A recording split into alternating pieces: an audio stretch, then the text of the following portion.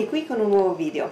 Oggi voglio provare assieme a voi questo preparato per torta della marca San Martino senza glutine, una torta marmorizzata che mi ha spedito la mia amica Angela eh, a cui mando un grandissimissimo bacione. Eh, ciao cara, sei sempre gentilissima, carinissima che mi mandi sempre queste cosucce nuove particolari. Quindi io come l'ho visto sono impazzita, ho detto lo devo provare subito assolutamente.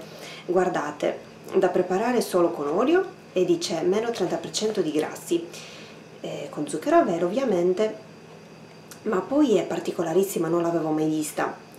Eh, devi aggiungere, dice solo 3 uova, 50 ml d'olio e 2 cucchiai d'acqua. E poi qua eh, dietro ci sono tutte le modalità di preparazione.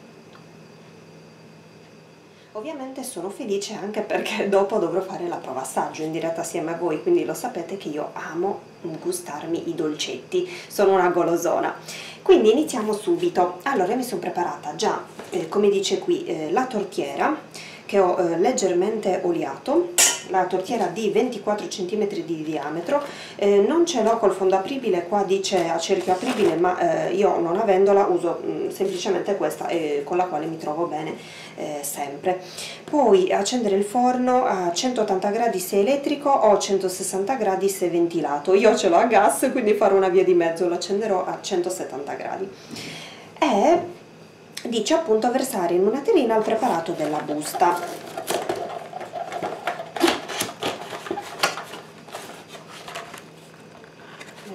la confezione contiene una bella busta grande e altre due buste altre due bustine più piccole eh, questo sicuramente è lo zucchero a velo e questo che è più scuro sarà il cacao da aggiungere dopo ovviamente.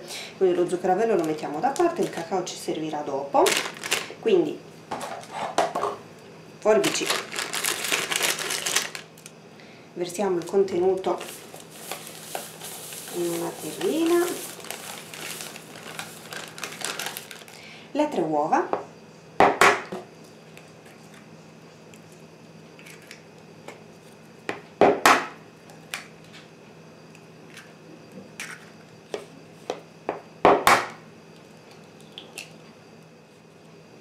Poi 50 ml d'olio che io ho già pesato in questa tazzina da caffè e i due cucchiai d'acqua.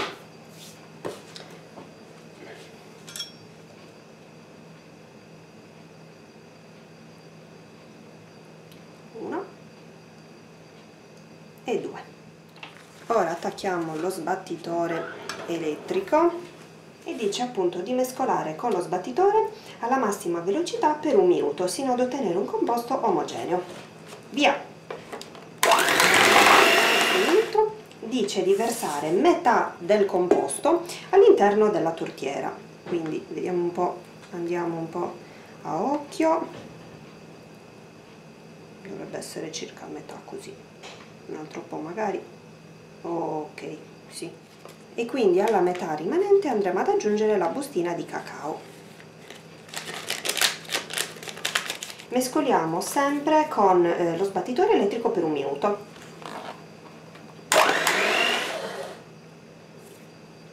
benissimo ora lo andremo a versare al centro del composto chiaro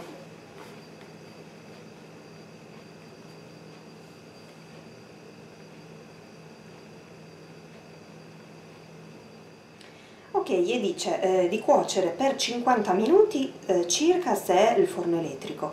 45 minuti circa se è forno ventilato. Quindi come sempre io dovrò fare una via di mezzo dato che ho il forno a gas. Comunque io dopo 45 minuti eh, vado a controllare eh, col, con lo stecchino, facendo la prova stecchino appunto. Eh, poi dice togliere dal forno e far riposare per 10 minuti.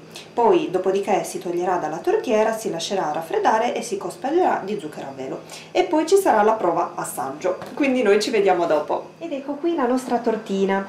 Adesso io l'ho fatta freddare, l'ho trasferita eh, su un piatto e eh, vi devo dire che l'ho lasciata nel mio forno a gas per un'ora eh, per cui mh, mm, non è per adesso c'è una cosa che non, che non coincide con le indicazioni che dava qui perché diceva per 50 minuti o 45 minuti invece eh, guardate quanti buchi li ho dovuto fare con lo, con lo stecchino perché, per controllare appunto la, la cottura perché non mi sembrava mai cotta soprattutto al centro. Quindi adesso mm, non lo so, mm, vedremo un po' dopo la prova assaggio eh, durante il taglio vediamo un po' le mie impressioni su come è l'interno. Sono curiosissima veramente.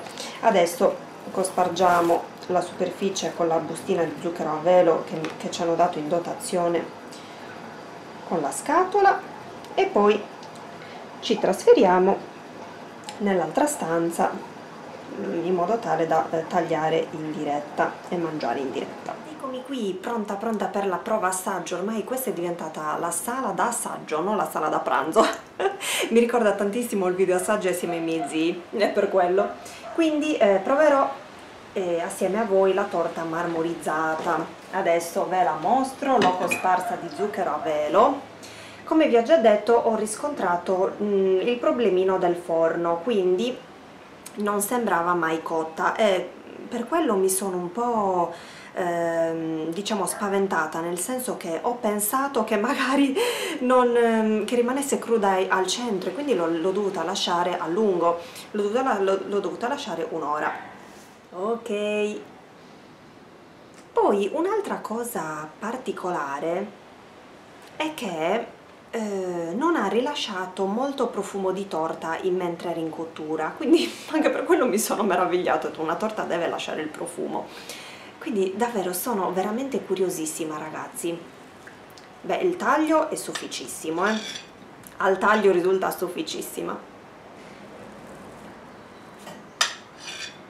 vediamo un po' vediamo un po' 1 2 3 ok la vedete prima voi di me? Beh beh beh che dire. Sembra molto molto bella ben lievitata. E eh sì un'ora nel forno però questo, questa fetta è enorme. Me ne taglio una fetta più piccolina. Sembra molto bella ragazzi. Però ve l'ho detto ha pochissimo profumo.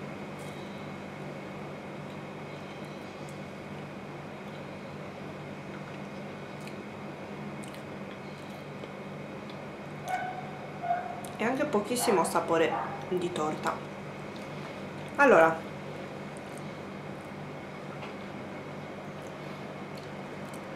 Le mie papille gustative sentono che c'è pochissimissimo zucchero. Ehm, non, si, non, non, ha sapore di quelle torte, di quei preparati per torta. No, di quelle torte che provengono dai preparati per torta di altri tipi di altri tipi, ecco, altre marche. Questa è proprio um, um, sembra che le manchi qualcosa, sembra che le manchi lo zucchero. Comunque, buonina, dai. Secondo me questa è una torta buonissima da inzuppare nel latte, perché mangiata così da sola non ha tanto sapore di torta io mm, ce la vedrei bene anche tagliata al centro e farcita. C'è anche da dire un'altra cosa ragazzi, che è senza glutine.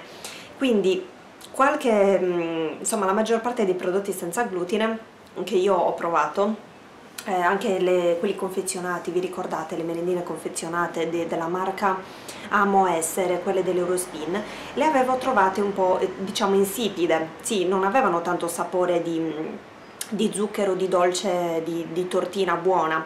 Eh, e quindi mm, eh, penso che, si, che sia anche per quello però comunque ovviamente come vi ho già detto ci sono anche eh, delle cose positive.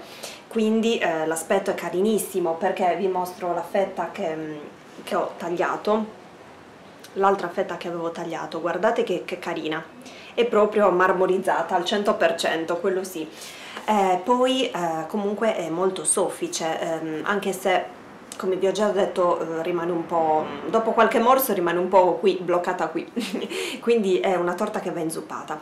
Eh, diciamo che ehm, per il fatto che io riponevo molte aspettative su questo tipo di, di, dol di dolce Eh, per quello sono stata um, un po' delusa, eh, nel senso che eh, appunto io avendo già provato um, tempo fa, se ben ricordate, il preparato per torta San Martino, quindi sempre di questa marca, è sempre, eh, come dice, um, ah sì, gustati la vita, vi ricordate avevo già provato eh, quella ai frutti rossi ed era meravigliosa, troppo buona, mi sembra, mi sembra con farina integrale, avevo fatto anche il video di quella, avevo fatto il video anche di quella. E, ehm, e quindi ehm, ricordandomi il gusto di quell'altra su questa riponevo molte aspettative. È solo per quello.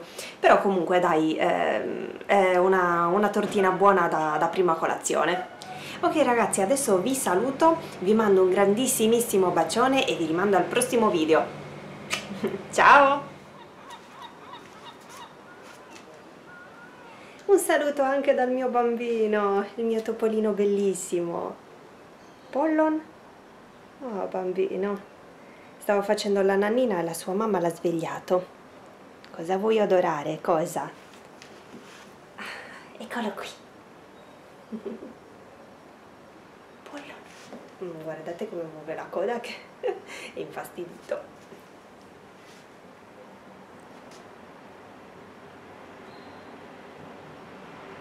Pollon? Adesso torni a fare la nannina. Saluta, ciao!